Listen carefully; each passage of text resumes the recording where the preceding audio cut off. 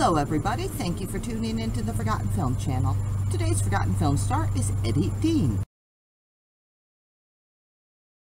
Eddie Dean was born on July the 9th, 1907 in Posey, Texas. His real name was Edgar Dean Grossum. In 1931, he got married to Lorraine Donnelly. They had two children, and they were together for the rest of his life. Oh, he became a pretty popular country and western singer, and in 1934, they moved to Hollywood, where he took his hand at the film industry.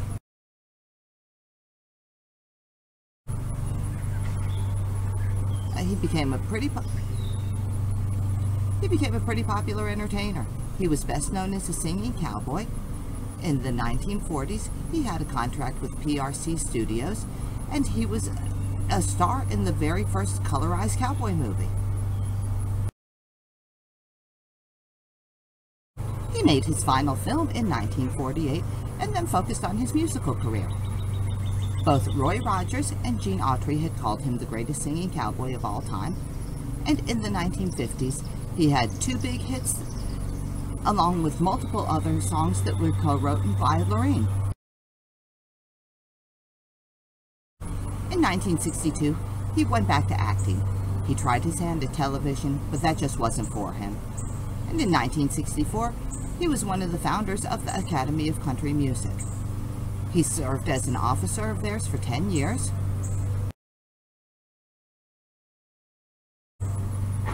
He retired in the early 1970s and lived out his life quietly in Palm Springs, California, dying on May the 9th, 1999 of heart disease at the age of 92. That was the same year that he was awarded a star on the Palm Springs Walk of Fame.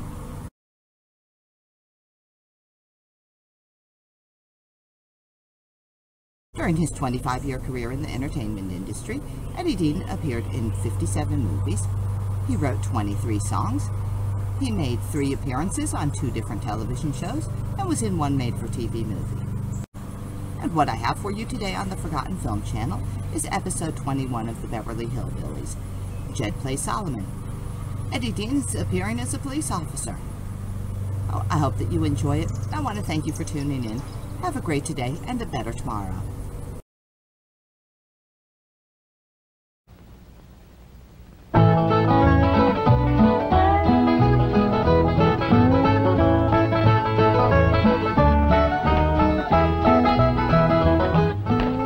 Ma, what you want me to do with the sign? Oh, I don't care, Jethro. You might as well burn it.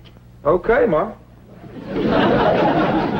In here, take it on outside. Okay. What's going on, Pearl? How come you brought in your sign? Oh, Jed, I give up. How can I give music lessons when every time I open my mouth to sing or yodel, 15 dogs jump on me? That's right, Uncle Jed. Last night when I come in, they had my treat on top of the piano. That wasn't funny, Jethro. well, it made Granny and me laugh. Well, May give me her word that she keep them dogs outside, especially while you was performing. How they getting in here? I don't know, but we'll find out. Jethro, you stay here and watch the front door. I'll go watch the cellar door. We know we can't get in the back because Granny's in the kitchen. Earl, you go on in the drawing room and cut loose.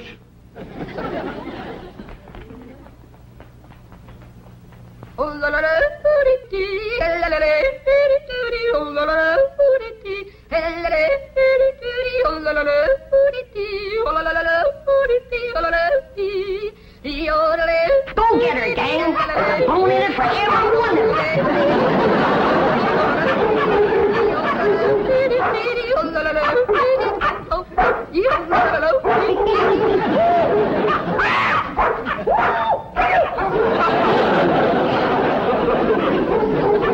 like they got your more treat again. They come through here? No, sir. Or through the cellar neither. Quiet down now, quiet down. Jethro will get you more down off a perch.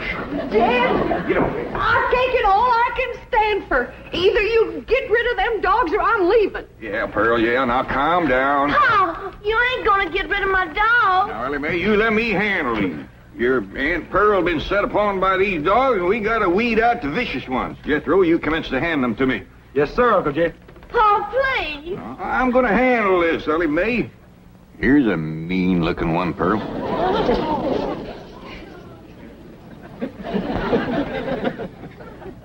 Well, I, I, I, I don't reckon he's one of the mean ones, Jed. You can keep that one, Ellie.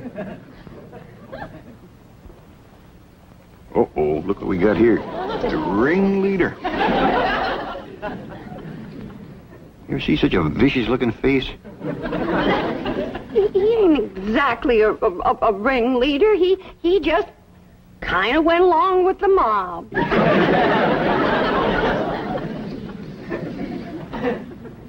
Look at this ornery one here. Don't, don't get too close to this one.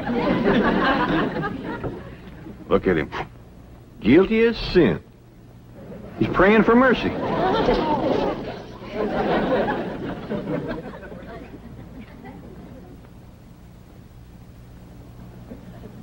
I don't even remember seeing this one before. Give me the next killer.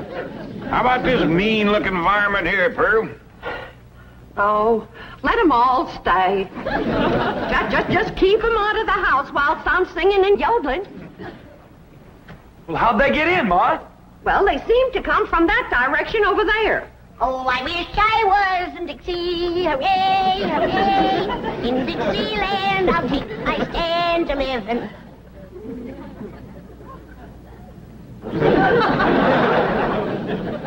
Well, what's everybody staring at me for? I didn't let them dogs in. Nobody said you did, Granny.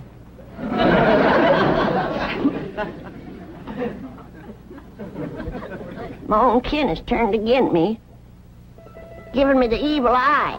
You want to get shed of me because I'm old and ailing and all crippled up with the rheumatism and the lumbago. Worn out in the service of my kin. Well, you don't have to put up with old Granny anymore. I'm going to throw myself in the cement pond and drown. then I won't be no more trouble to you. Don't nobody try and stop me.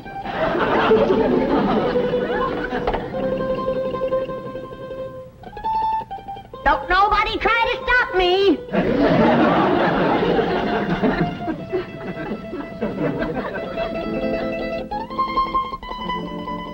It's better this way. Then Pearl can have everything to herself.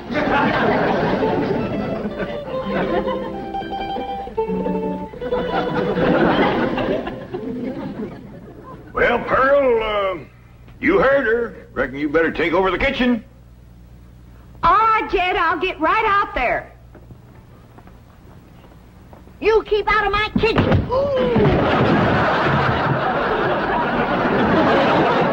Granny, put me down her, Granny, don't throw her. If you don't stay out of my kitchen, I'm going to hit you so hard atop your head, you'll be able to ride half fare.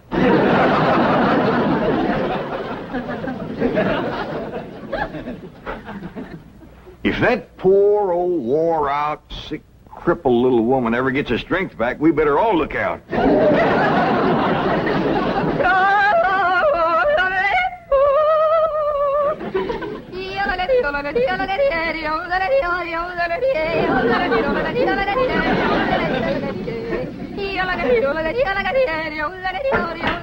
Go get her, gang. There's the usual reward. Granny, close that door. I only opened the door to let in a little fresh air. And a lot of dog. Well, I just can't take Pearl screeching any longer. Sounds like a pine knot in a sawmill. Miss Drysdale's been complaining, too. Calls the police most every day. That ain't a bit neighborly, is it? Mr. Drysdale promised she wouldn't call no more. Now, Granny, you leave them dogs outside.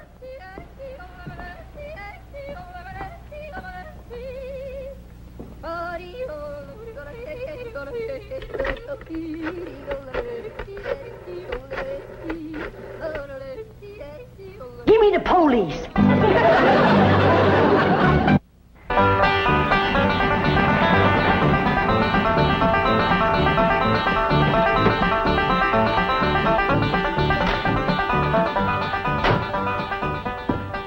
Man, I thought that complaint would never come through. How could anyone complain about a thing as beautiful as Pearl's yodeling?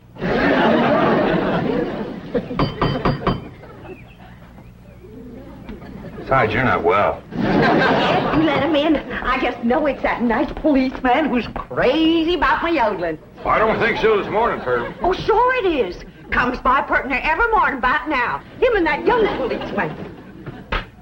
Oh, it is you. Come in. Thank you, Mr. Clampett.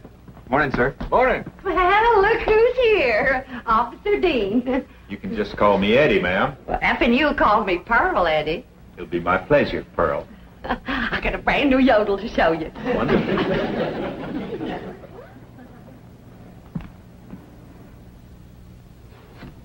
Just so we won't disturb the peace.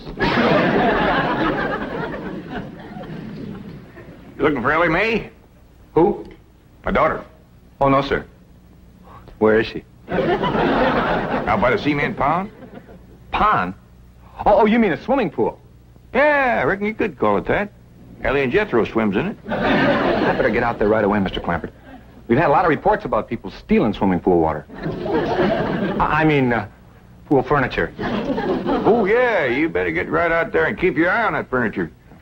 You'll find her working with her dogs and cats and birds. Thank you. Did you say dogs and cats and birds?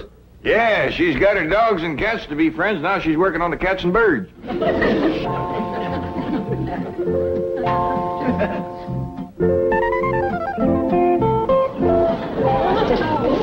Everybody can be friends if they just try. And you two is friends now.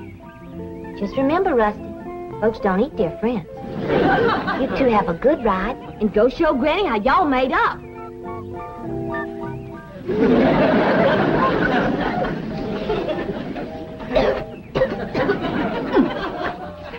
That's batch of rheumatism medicine I ever did cook up.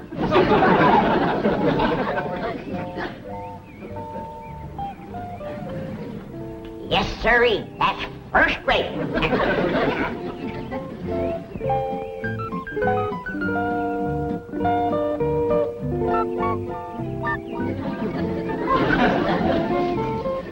I commenced to seeing birds riding horseback on cats. That's enough tasting. Hi, Granny. Oh, Ellie, here, keep the fire going under my steel. I'm going up and rest a while. Granny, you promised Pa you wouldn't run your steel no more. Mm, Just to make a little rheumatism medicine, in case I wake up one of these bitter cold nights and get a seizure. Granny, it don't get bitter cold out here. Jethro read in the newspaper where it's going to get 20 below tonight. Of course, that's in Alaska. But if I wake up and think about it, I might get a seizure. Ellie Mae! Down here by the fire. Ellie Mae, what are you doing? Now, this is illegal. You can get arrested for this. I can't? Well, absolutely. Open fires aren't allowed in this area. Here, I'll help you put it out.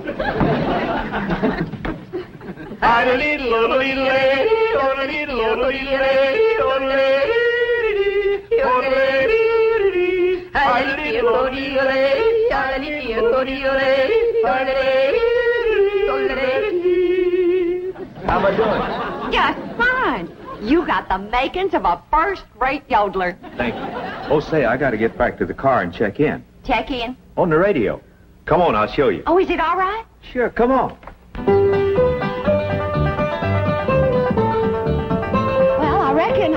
Reckon I hadn't better resist an officer of the law. That's right. Just come along quietly. Remember, I've got a gun. Uncle Jed, Granny, come quick. What is it, General? That policeman arrested Ma. Arrested her? Yes, sir. He had her by the arm, and dragging her out to his police car. I'll go see if he's gone yet. I wouldn't have called the police if I thought. Granny, you mean you set the police on Pearl, your own kin? I reckon I did, Jed. I don't recollect it quite clear. I guess it's because I'm so old and sick and ailing and puny and frail and all crippled up with All right, the now, don't start that again. Granny, I just can't understand you turning on your own kin. Well, it, it was just it it. It was the hot California sun that done it. That's what done it. It softened my poor old brain. you ain't gonna throw me out of the clan, are you, Jed? Uncle Jed! He ain't took Ma away yet. They still out front. Maybe it's time to right the wrong you done. Oh, I will. I will. I'll do anything. Pearl, Pearl, I'm coming, Pearl. I'm coming. I sure wish I could invite you into the kitchen for some coffee and victuals, but Granny's so mean and cantankerous when it comes to... Pearl, forgive me. I'm the one that set the law on you. Please forgive me, Pearl. I'm so ashamed. Forgive me, Pearl. Don't let Jim throw me out of the clan. You set the law on me? Oh, I'm low, Pearl. Awful low and mean. Step on me, Pearl. Step on me. Step on me like you would a worm. Trump on me. Grind your feet on me. Me get out of there, Pearl. Mr. Policeman, run over me. Deserve to live. Run over me and throw my poor old mean body to the buzzard. All right, Granny, now that's enough. But Pearl hasn't forgiven me yet. Mr. Policeman, give your gun to Pearl and let her shoot me. Oh, Granny, stop that. Put a curse on me, Pearl. I forgive you. I forgive you. But I deserve to be punished, and punished bad. Sing to me, Pearl. Granny Pearl done said she forgives you. Am I taken back to the clan? Am I welcome to the bosom of my family? I reckon. Pearl, you are an angel. You can have anything I got anytime. You can have any part of my kitchen. Throw me out of it. Set the dogs on me. Yes, okay, take your Granny into the house, please. Sure, Ma. Did you want her? No, I didn't want her. Want me, Pearl? Oh, Jethro, take him in the house. Come on in the house and want me, Pearl. I'm sorry, Mr. Policeman, but Granny, you know, she gets worked up every now and then. I understand. Now, I can invite you in the kitchen to have some victuals and coffee. Oh, no, thanks. I see my partner coming. We better get moving. Well, young fella, you find anything missing? Oh, no, sir. She's got everything. I mean, everything was there. But that is around the pool. Well, you come back and see us here. We will. Just keep yodeling. Bye now. Bye. See you when the roads get better. Bye-bye. It's quite a family, isn't it, Sergeant? As you young fellas would say, like wow, man. You know, here they are with all these millions in this big, beautiful mansion. And guess how they heat the water for their swimming pool? How? Well, they got this big, round kind of copper boiler, see? And, and coming out of the top is this kind of spout. And attached to that is this corkscrew tubing that goes down and leads into a big jar. Right. And they keep this fire going under this big boiler. Officer Kelly. But imagine how long it would take to City all- boy. Yes, sir? You have just described a still. A what? A still. No wonder they got so much money. These people are moonshiners.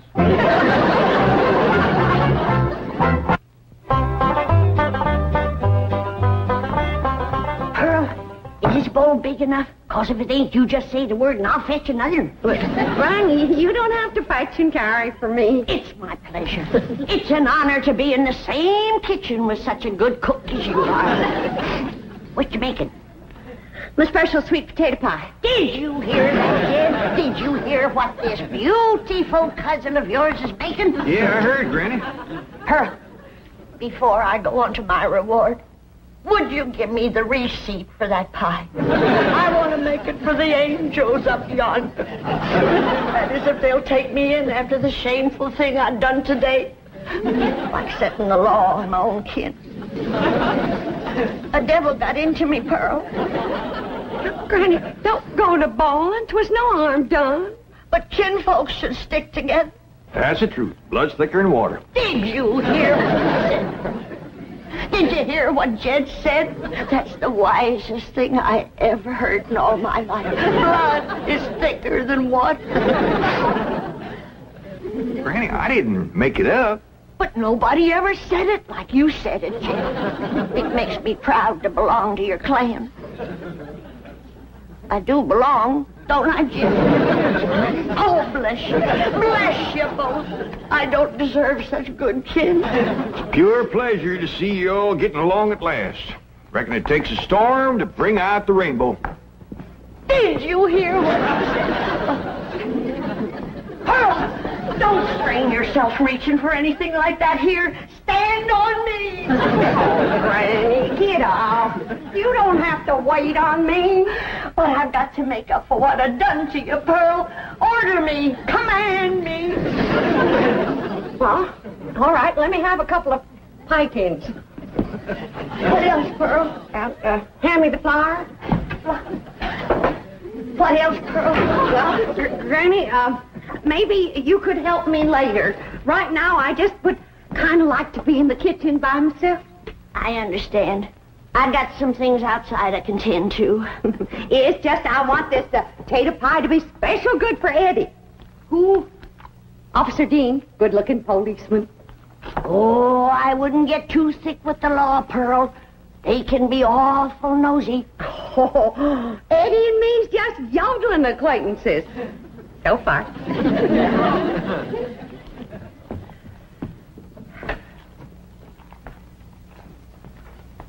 Remember, Pearl? Where there's the law, there's trouble. As sure as a goose goes barefoot.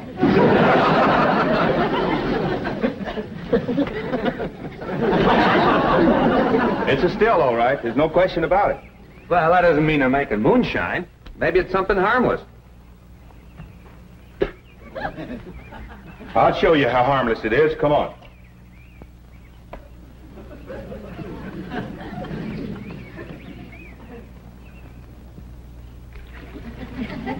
Strike a match. Now toss the match in there. In the water? Toss it.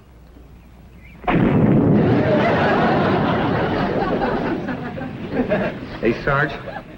We're not going to arrest Ellie Mae for this, are we? I'm sure she's not responsible for it. I don't think Pearl is either. Mr. Clampett seemed like such a wonderful man. It's probably Granny. Anybody who would lie down in front of a police car and say, run over me, has got to be gassed. Well, maybe, maybe Granny doesn't know it's wrong to make that stuff. That's possible. Pearl says she refuses to give up the customs of the hill. Well, looks like Pearl was right. Yeah, and there's Granny's old still to prove it. Be it ever so humble, there's no place like home. Say, Pearl, you seen anything of them two policemen? Not since they left. Well, that's just it. They didn't. Their police car's still out front. Oh, that Eddie. Oh, I hope he's not so gone on me that he's neglecting his duty. Oh, here's Granny. Back to help you, Pearl. Good. Granny, I need your rendering skillet. I'll see that you get it, Pearl. See, I was just telling Pearl, Granny, that police car's still out front. I, I can't figure it myself, but Pearl seems to understand.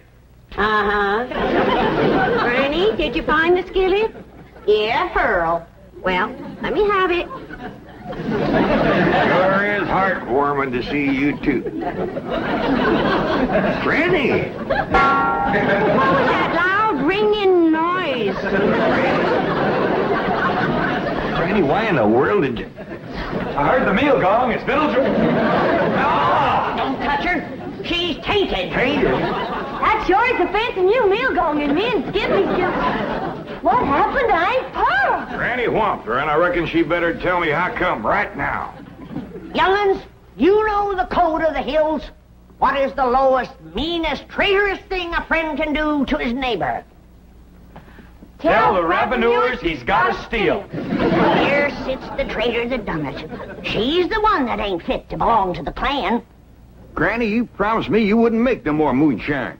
I'm making medicine. You want me all gnarled up and twisted in the grip of my rheumatism? Is that the thanks I get for working my poor old fingers to the bone? Yonder comes the law. Two policemen.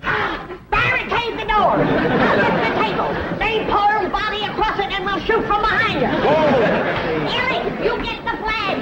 Jethro, you get the guns. And I'll throw knives at them till you get back. Nobody do nothing. We ain't gonna fight the law. We ain't gonna fight. What are we, a clan or a nest of mice? You heard me. Jethro, you and Ellie take some of that cold water. Bring your ma, too. I'll take care of the law. Larry, we'd like to talk to you about that still down by the swimming pool. Yes, sir. I was feared you'd catch me sooner or later. Well, I'm ready to go with you. I'll make no trouble. Are you the one who's running it? Me and me only. Pa ain't running it. It's me. That's my steel, ain't it, Jethro? No, sir, that's my steel. Don't listen to these young'uns. It's my seal. Now, come on, arrest me. Let's get it over with. Well, that ain't true. If you want to know who that still belongs to, I'll tell you. It's me. Pearl. Put the handcuffs on me. Now, just a darn minute. Ain't nobody gonna take credit for my work except me. And if it's again the law to make a little rheumatism medicine, then take me to the chain gang. Yeah, No, that's me. That's my steel. Wait, hold it. That's mine. Here's like we's all going to the chain gang. Nobody will go anywhere if Granny will promise to stop making rheumatism medicine. Well, I reckon what I made today will hold me through the winter. Well, I wouldn't count on that. You see, we accidentally spilled all the evidence into the swimming pool. Swimming pool? Oh, poor Charlie. Who's Charlie? My pet duck.